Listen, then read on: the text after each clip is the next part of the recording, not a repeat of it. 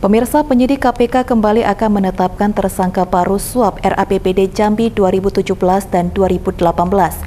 Beredar informasi ada 28 orang dari kalangan anggota DPRD Provinsi Jambi periode 2014-2019 yang akan ditetapkan menjadi tersangka baru.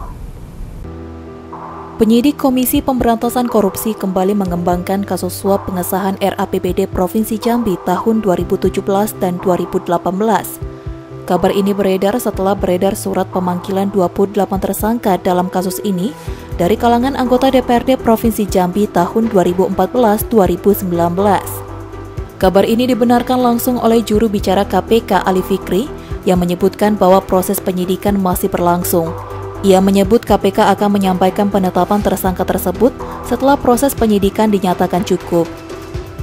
Pengumpulan alat bukti oleh penyidik di antaranya melalui pemanggilan berbagai saksi sedang berjalan.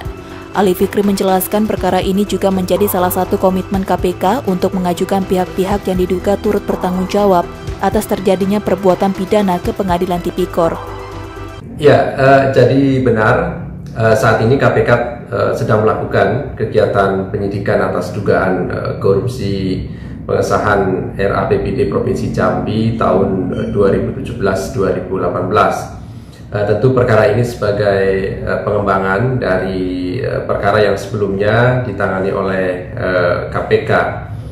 Adapun mengenai uh, konstruksi perkara ini secara utuh dan lengkap, tentu kami akan sampaikan nanti ketika penyidikan ini cukup dan kemudian KPK telah melakukan upaya baik itu penangkapan ataupun penahanan terhadap pihak-pihak yang telah ditetapkan sebagai tersangka oleh KPK pada proses eh, penyidikan dimaksud.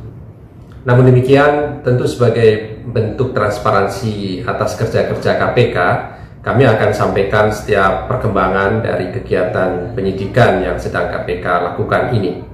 Perlu kami sampaikan bahwa pengembangan penyidikan ini tentu sebagai salah satu komitmen KPK untuk terus menuntaskan setiap perkara yang ditanganinya sehingga siapa pun yang kemudian berdasarkan bukti yang cukup dapat dipertanggungjawabkan secara hukum tentu KPK tingkatkan pada proses penyidikan dan membawanya ke pengadilan tindak pidana korupsi. Diketahui bahwa penyidik akan memanggil sejumlah saksi pada Sabtu 24 September 2022 mendatang di Mapolda Jambi untuk penyelidikan kasus korupsi RAPBD Jambi ini. Dimas Sanjaya, Cek TV, melaporkan.